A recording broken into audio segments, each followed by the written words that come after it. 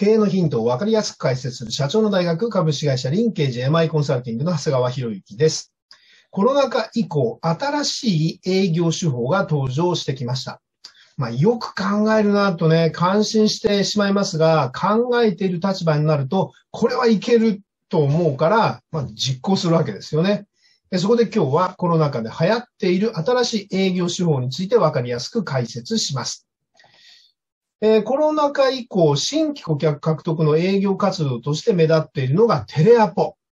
テレアポは昔からあるね、古典的な手法なので、決して新しい営業手法とは言えません。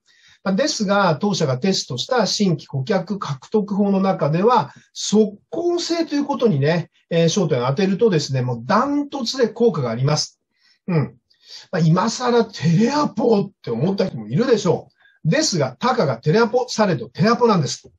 やはりね、一方的なコミュニケーション、あの、ダイレクトメールだったりとか、まあ、メールだったりとかね、広告だったりとか、まあそういうものではなくて、テレアポはね、会話が成立するわけです、相手との。で、まあそんな中で、やりとりの中でアポイントが取れるということを考えていけば、即効性はあります。で、メールとかダイレクトメールはもう、今言ったように一方的なコミュニケーションですからね。でしかも、もう開封しなければ、封筒をね、切らなければ、まあ、それで一貫の終わり、まあ、ゴミ箱に入ることもあるわけですよね。メールもそうですよね。うん、開封されなければ、そのゴミ箱行きなんてことはありますよね。はい。でね、テレアポがなぜ即効性があるかって言ったら、あくまでも、えっ、ー、と、どこに電話をかけるかというリストね、え会社名とか住所とか電話番号とかがきっちりとわかるリストがあると仮定しましょう。そしたらすぐにでも電話をかけることは可能なわけですよね。で、そんな中で電話を例えば100本かける、200本かけるでもいいんですけども、その中で1本でも2本でもアポイントが取れれば、まあその日のうちにアポ1、2本は取れるっていうね、そういった意味ではもう即効性があるわけですね。最短でもしかしたら、えー、商談に臨むことができます。まあそれがテレアポですよね。はい。まあ、とは言ってもですね、これまたね、既存顧客に対してはですね、このメールとか DM っていうのが実は最強ですよね。電話よりも。えー、知ってる企業からの、まあ、こうアプローチですからね、例えばダイレクトメールも開封される確率は非常に高くなります。特にダイレクトメールは紙媒体なので、社内でこうね、閲覧できる、回覧ができるメリットもあります。さらに紙媒体はこう記憶に残りやすいっていうね、特性があるわけです。えまた、あの既存顧客なので、すでに取引が発生してます。ですから、まあ、顧客の維持ね、要は、えー、流出の防止にもなるし、えー、リピーターを促進にもなるし、客単価アップのためにもなるわけですね。なので、ダイレクトメールみたいに、多少、えっ、ー、と、営業コストをかけてもね、全くこれは問題ないと言えます。えー、さて、テレアポの話に戻りますけども、最近はね、もう、うちの会社にもかかってきます、よく。いかにも社長と知り合いでっていうノリで電話をかけてる企業が非常に多くなってきました。で、当社にも、えー、まあですね、まあ最初にね、お世話になってますなんて電話かかってきますね。あとはいつもありがとうございますとかね。もういかにもなんか知り合いみたいな感じなので、つい電話に出た人がね、私に繋いでしまうんですね。うん。なんかね、やっぱり話を聞いてると、えー、そういうふうに言われると、あ、もう社長は知ってるんだな、みたいな感じになって、それでもう繋がないとまずいっていうか、もう繋ぐのが当たり前みたいな雰囲気になっちゃっるって言ってました。はい。まあ、その結果ね、電話を繋いで私出るんですけども、あの、全然知らない営業の方ですよね。うん。まあ、こんな経験ね、もう本当に一週間に一回ぐらいあります。さて、えー、今日の本題はですね、コロナ禍で本格化した新規顧客獲得手法ね、これ紹介したいと思うんですけども、それはホームページの問い合わせフォームからの営業。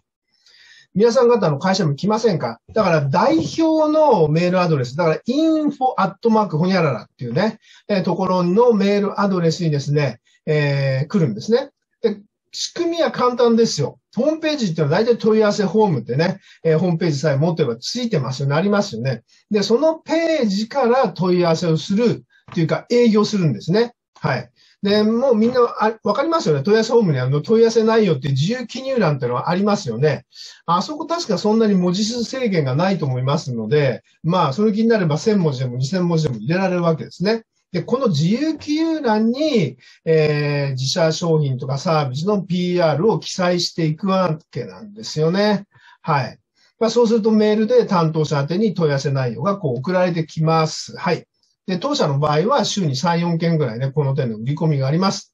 えー、問い合わせフォーム営業ね。うん。まあ、勝手に私がこう名前つけたんですけどね。でね、内容見てみると、あの、なんだろうな、こんな感じですよね。あの、まあ、いきなりね、こんなことでお困りではないでしょうか。当社はこれからこういうことをやってる会社です。みたいなね、感じですね。御社のホームページを拝見してどうだこうだってガーッと書いてあって、結局最後はね、えっ、ー、と、ぜひ一度お話を、このサービスの話をさせていただければいいかなと思いますって書いてあって、えー、日にちは、まあ、5個ぐらい日時がね、交尾が上がってるんですよ。何月何日の何時から何時、何月何日の何時から何時って言って、この時間でご都合よろしい、えー、のがありましたら、ぜひ商談させてくださいっていうね。で、まあ、返信してくださいみたいな感じなんですよね。うん、一回もしたことないですけどね。まあ、これがいわゆる問い合わせフォームですね。はい。まあけどこれもね、結構ね、同じ会社からね、結構何回ももう来てますよね。まあ、ただ、こう、法律的にはね、おそらく全く問題ないんだと思います。うん。企業のね、受付、いわゆる飛び込み営業をやって、ほにゃららのサービスを案内しておりますが、担当の方に資料を渡ししたいんですが、って言ってね、まあ営業してるようなもんですからね。うん。はい。まあ、問い合わせフォームはね、受付のようなものですよね、ホームページをね。だからもう対処の必要がないっていうのが本当のところです。えー、まあ、専門家に行くとね、スパム的なね、対処は非常に難しそうです。え理由は文面以外は顧客からの問い合わせというのはやっぱそこのフォームから来るわけですよね。だからその区別がつかないんで、ちょっとね、その辺のスパムで扱ってね、っていうのはできないらしいです。えー、当社への問い合わせフォーム営業は、まあ、採用とね、新規見込み客の獲得がね、非常に多いです。あとは、えー、と、あれかな、なんか出版の話とかもね、時々来ますよね。うん。で、特に採用に関しては、あらゆる業種で人手不足が顕著になっているので、まあ、なりふりか、まずなんか問い合わせフォーム営業ね、行ってるっていうなんか印象を持っています。はい。あの、今はね、ちょっとお見せできないですけども、まあ、ちょっとと機械を作ってどういったものかもね、えー、お見せしてもいいかなと思いますし、まあ、これを見てる、ね、皆さん方もうすでに、ああ、あれねって言ってるのも分かってる方がほとんどかもしれないです。本当にね、インフォのメールアドレスにこれ来るんですよね。まあ、こんな営業手法がですね、今ね、このコロナ禍で流行ってきてるっていうことですね。はい。今日の話が役に立ったという方は高評価、そしてチャンネル登録をよろしくお願いいたします。で下の概要欄にメルマガ社長の大学の登録の URL を載せてありますので、メルマガ社長の大学の登録もよろしくお願いいたします。